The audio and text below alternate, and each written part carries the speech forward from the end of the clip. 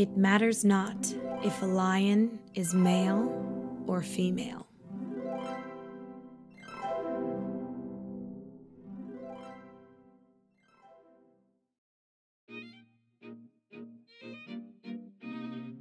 TK, your guide to the past as we uncover the people, events, and little known facts hidden in the shadows of your old history textbooks. From Empress baddies to activist profiles, turkey gods and the history of the toothbrush, tattoos, Pompeii peepees, and everything in between, you can find it all here. There's no telling how far we'll dig or how many historical facts we'll re examine. No event is too small and no topic is too big because this is for the love of history.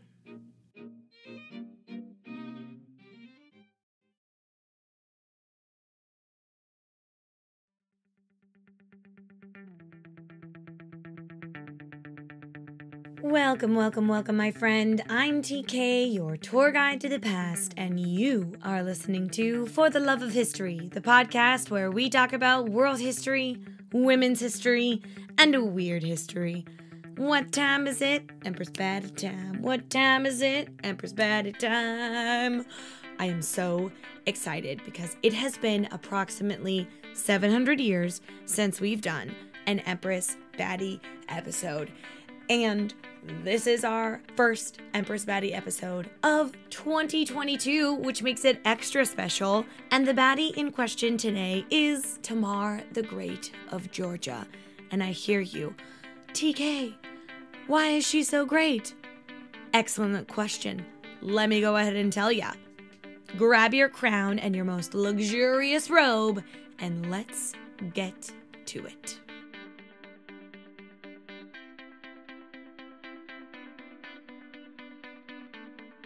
Today, we are talking about Georgia, but not the state of Georgia, my friend, the country of Georgia. And you know what? I did not know diddly squirtly squat about Georgia before researching this episode, but I am now the proud owner of some Georgian history that I am going to tell you about now because we need some context before we go baddie diving, which which, as I'm saying that now, speaking TK and writing TK were two different people. I don't know what writing TK was thinking. That is a horrible line to say. Baddie diving. Anyways, we we need to talk about Georgia to understand how cool Tamar was. This is the most brief history, but here it goes. Georgian history and culture is very interesting. It's a mix of Anatolian, European, Persian, Arabian, Ottoman, and Far Eastern cultures all mixed up together. And people have been living in the country that we now know as Georgia for literally since people. Since people. Not even joking. Evidence for the earliest occupation of present day Georgia goes back to 1.8 million years ago, as evident from the excavations of the Dmanisi in the southeastern part of the country. It's a, it's a place in the southeastern part of Georgia. So, this evidence of people being in Georgia 1.8 million years ago is the oldest evidence of humans anywhere in the world outside of Africa, which is banana sandwich. So, after a few million years or so, Georgia was starting to become unified in the late 800s and pretty much got there by the 1000s.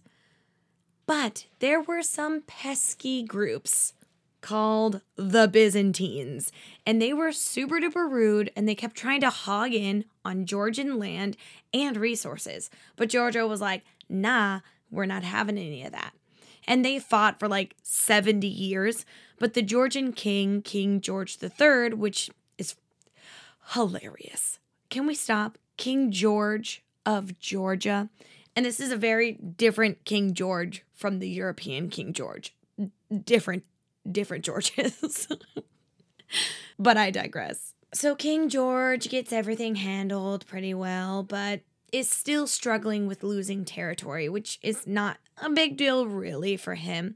So King Georgie McGeorge George was cruising along with his unified country until a group of no good, dirty, rascal nobles had an issue with him being king and the fact that Georgie Porgy had no sons to inherit the throne. He, in fact, had only two daughters. And to make matters worse for the nobles, George didn't care. He said on many accounts that it matters not if a lion is male or female, referencing his two highly capable daughters, one of which would become his heir. And the nobles could not abide by this. No woman should rule, they thought. But little did they know what kind of woman they were about to deal with.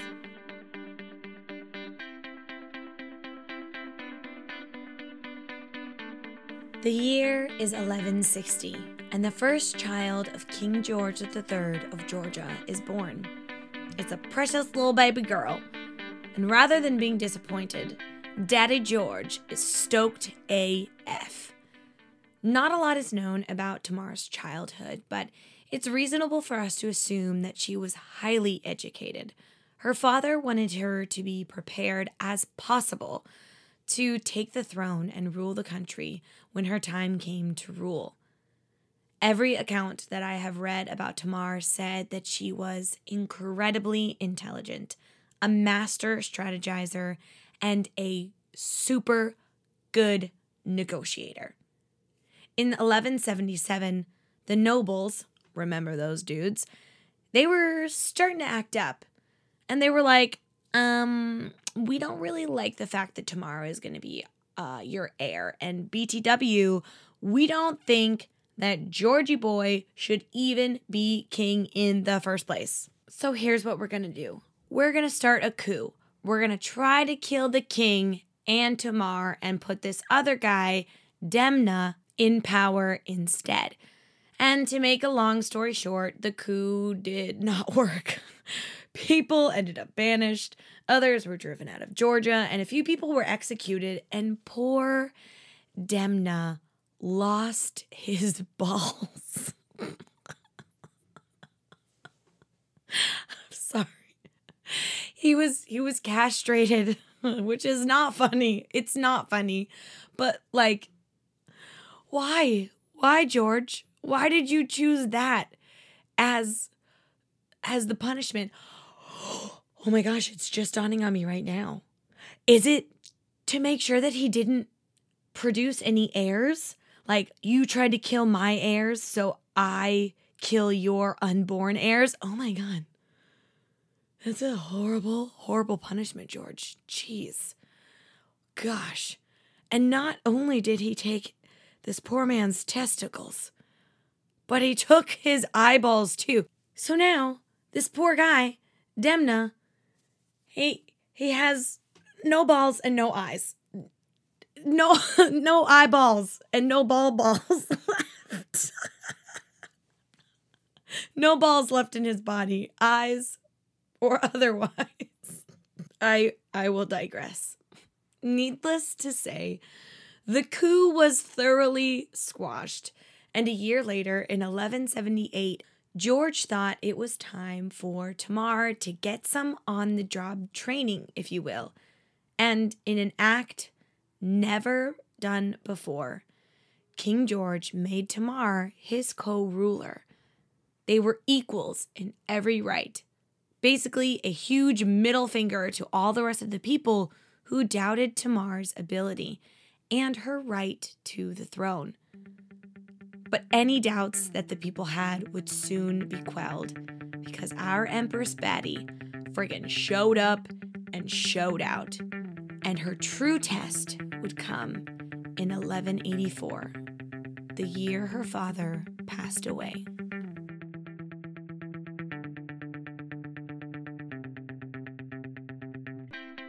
The death of her father was devastating for Tamar.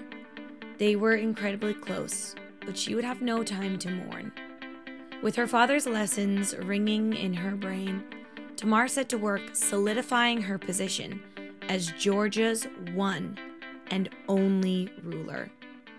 she immediately started forging connections with the senior royals, as well as the head of the Georgian church. Even though she was crowned by her father six years before his death, there was a group of people called the Aristavi, aka the princely class, and they came crawling out of the damn woodworks, being like, Me, we want to have Tamar recrowned. We want to give her the special scepter to symbolize that her power comes from us and not from God. Even though literally every ruler of Georgia had accepted the scepter, the leadership scepter from the church, which is what she had already done in her first coronation. So, what was Tamar to do? What would you have done in this situation, my friend? Because part of me goes like, this this princely class people uh better GTFO because I'm gonna do what I want and I don't need to be recrowned by you. but thankfully, I am not Tamar, who had much better judgment than I would have had. It was risky, but necessary for Tamar to concede to the Aristavi.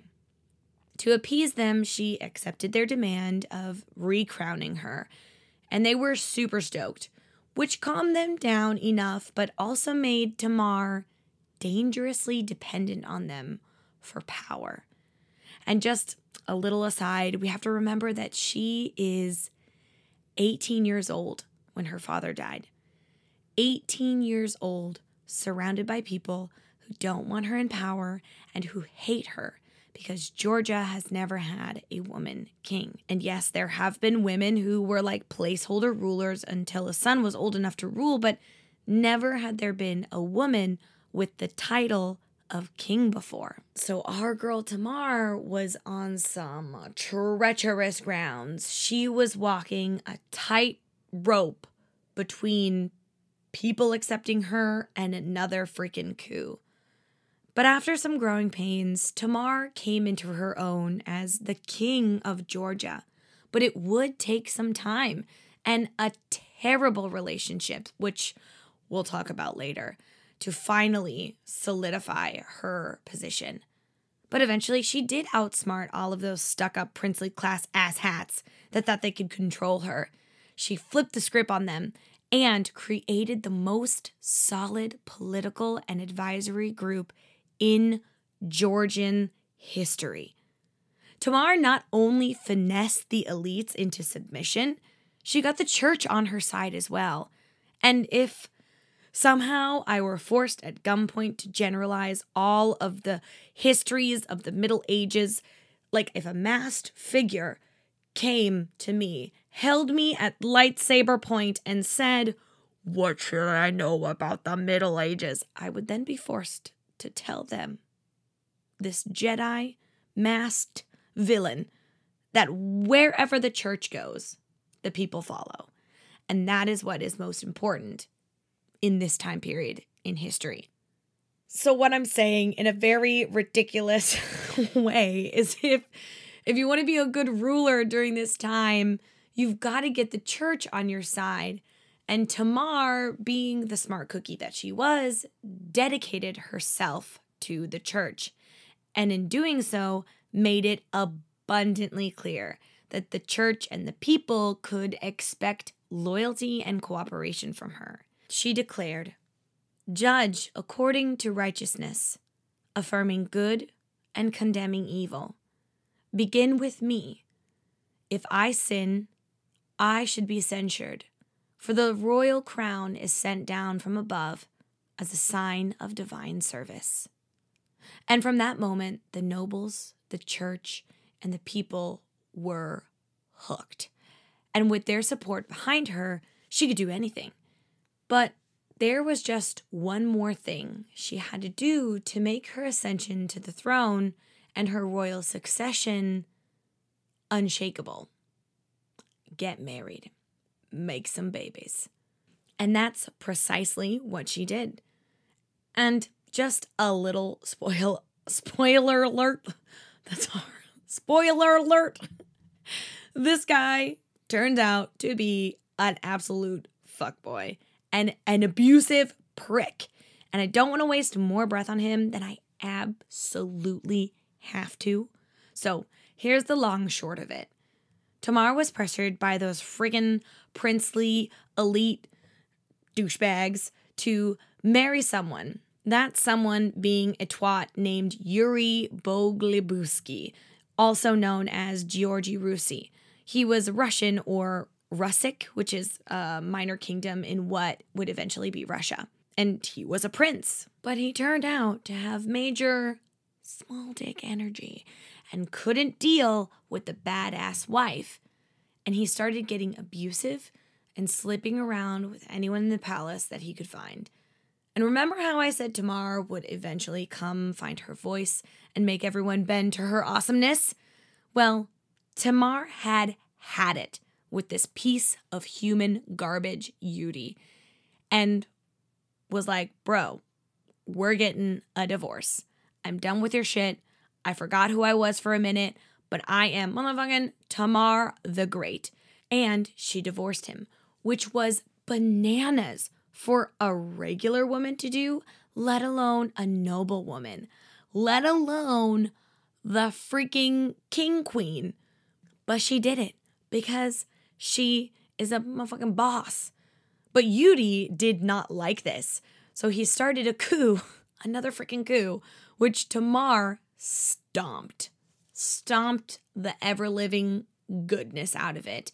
And in her infinite mercy, she spared the trash goblin's life by banishing Yudi from Georgia forever. Which, if I had the power to banish exes, I would. Hands up, friend. If you would banish some exes, I've got a few. so, after her divorce, there was nothing that could stop her.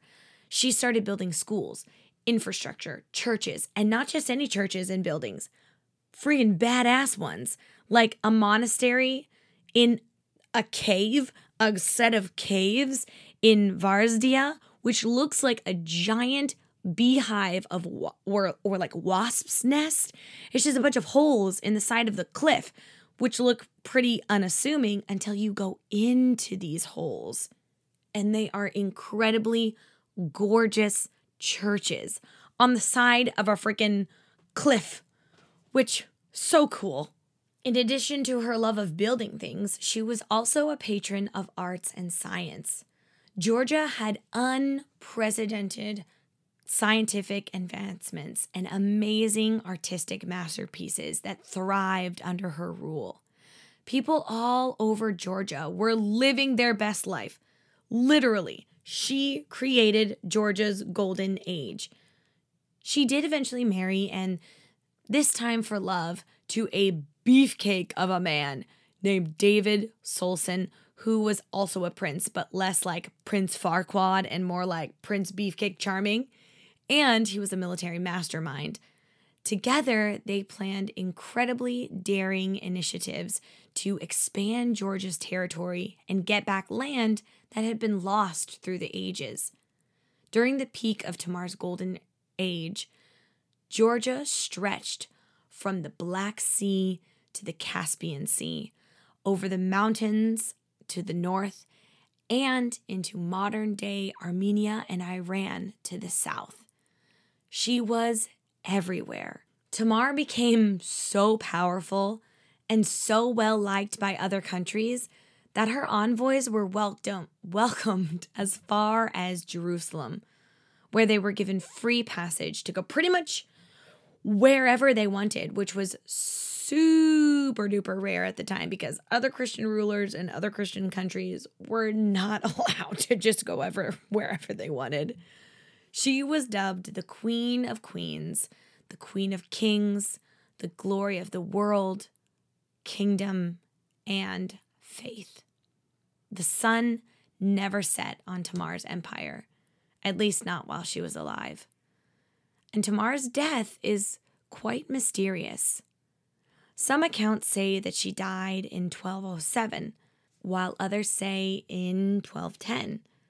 But the most common assumption about her death is that Tamar fell suddenly ill in 1213 and quickly passed away.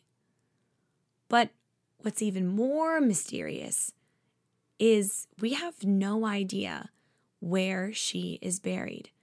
There are several legends surrounding her burial, like she's buried somewhere in a secret cave, or that her son, the next in line, the king, the next King George, took a secret pilgrimage to Jerusalem to spread his mother's ashes. But my personal favorite, and the one that I choose to believe in my heart, is that Tamar did not, in fact, die. She is simply sleeping in a cave deep in the Caucasus. One day, she will awake and emerge from the cave, and a new golden age will dawn for Georgia.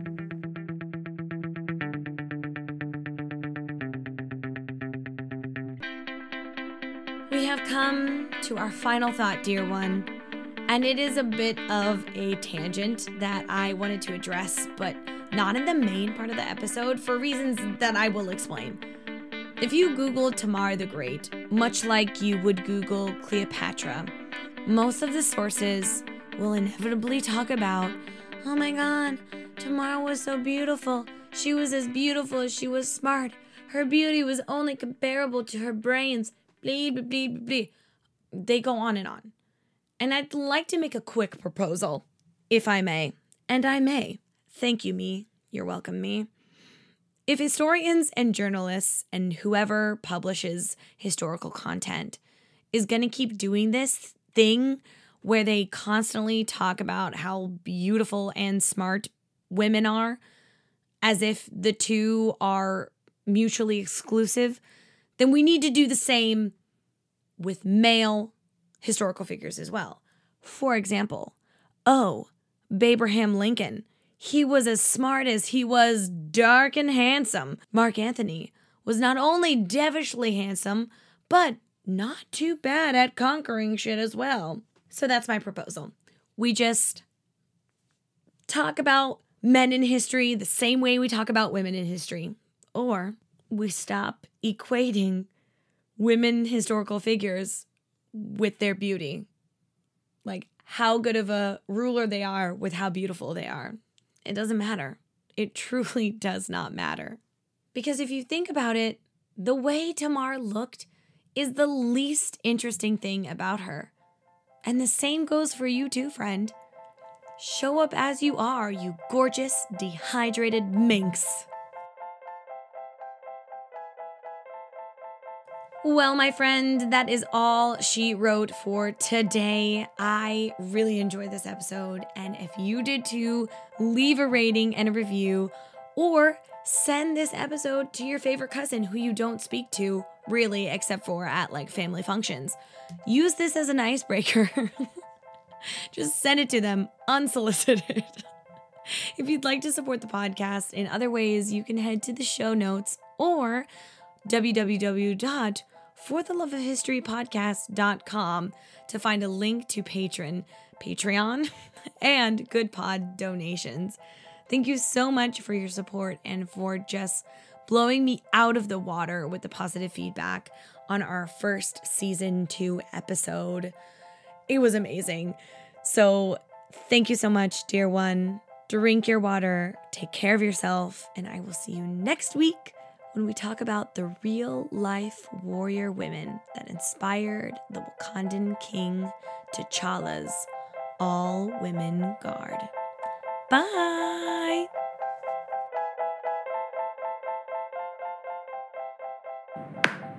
Why is there a metronome right now? Oh, okay.